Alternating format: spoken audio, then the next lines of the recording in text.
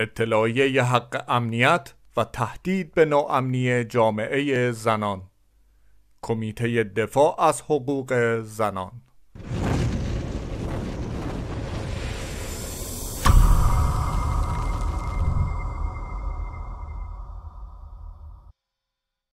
یوسف تباتبایی نژاد امام جمعه اصفهان و صدور مجوزی دوباره برای مجرمان خودی.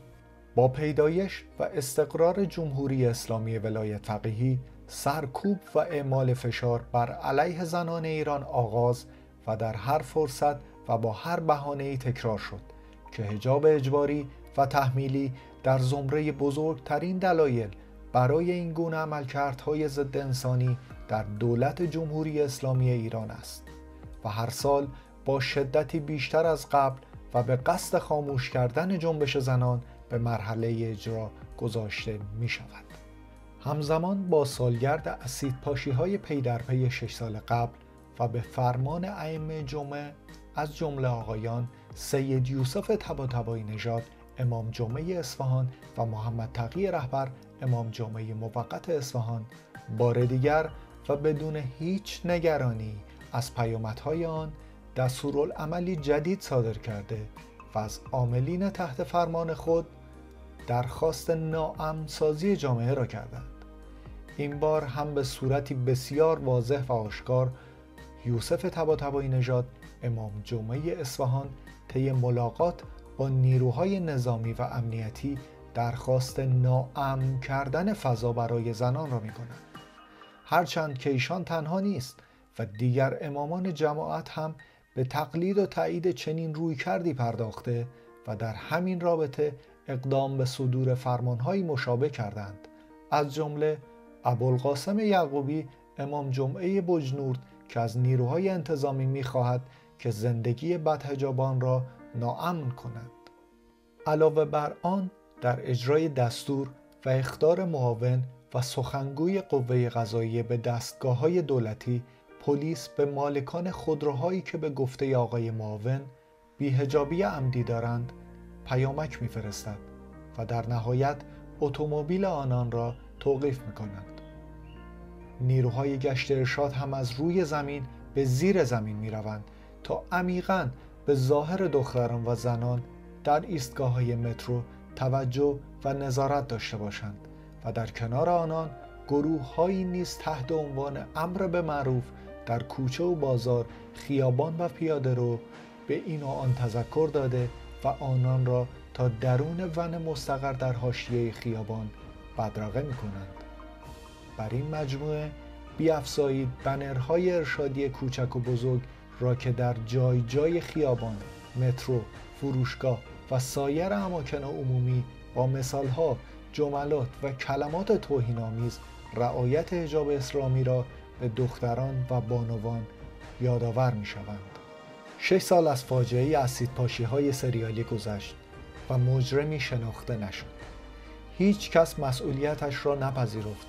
با هیچ فردی هیچ گونه برخوردی نشد. تنها مجرم بازداشت شده آقای آریا جعفری عکاس خبرگزاری ایسنا در اصفهان بود که به جرم تهیه عکس از تجمع اعتراضی علیه اسید پاشی های انجام شده بازداشت شد اما مجرمین اصلی نه فقط در امنیت بودند و هستند که بیگمان در همین رابطه پاداش هم گرفتند. و اینک آمران و عاملان آن فاجعه تاریخی که یک کشته و بیش از پانزده آسیب دیده به دنبال داشت مسببین اسید پاشی به چهره و پیکر بانوانی که نه فقط آمال آرزو و سلامتی آنان را سوزاندند بلکه هر لحظه از زندگی آنها را به آن روزهای شوم مهر ماه 93 گره زدند تا رنج مدامشان باشد. آری همانان بار دیگر از حاشیه امن خیش فرمان ناامنی برای زنان ایران زمین صادر می کنند باز هم یوسف تباتبایی نژاد نام آشنای فاجعه مهر 93 اردیبهشت 96 مهر 97 و تیر 98 در شهریور 99 نیز خطبه ناامنی فضای کشور برای زنان می‌خواند و در ادامه همپیمانان دیگرشان آقای ابوالقاسم یعقوبی امام جمعه بجنورد بدهجابی را یک ویروس خطرناک می داند که باید سمزدایی شود. فرمان به ناجا می دهد تا زندگی بدهجابان را ناامن کند. دستور می دهد علاوه بر قوه قضایی مردم نیز دخالت کنند. و آمر به معروف و ناهی از منکر باشند. به رغم آنکه ماموران امنیتی و سپاه کوچکترین اعتراضات خیابانی را سرکوب معترضان را شناسایی و به دادگاه های مرگ می سپارند اما با گذشت سالها از شناسایی و معرفی عاملان آن فاجعه هولناک ابراز ناتوانی می کنند چرا که دولت مردان ایران همیشه جرمشان پنهان است و انکارشان آشکار. سال 93 را نیز مثل همیشه انکار کردند پنهان نمودند و عاملان اسید پاشی به زنان را وابستگان سرویس های اطلاعاتی بیگانه و سهیونستی خواندند.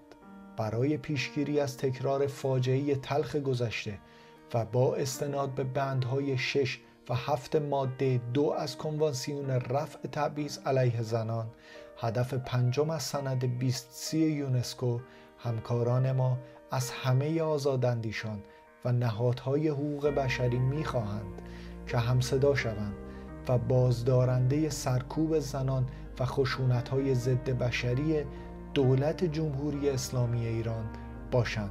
زیرا انسان آزاد به دنیا آمده است و باید در امنیت زندگی کند کانون دفاع از حقوق بشر در ایران کمیته دفاع از حقوق زنان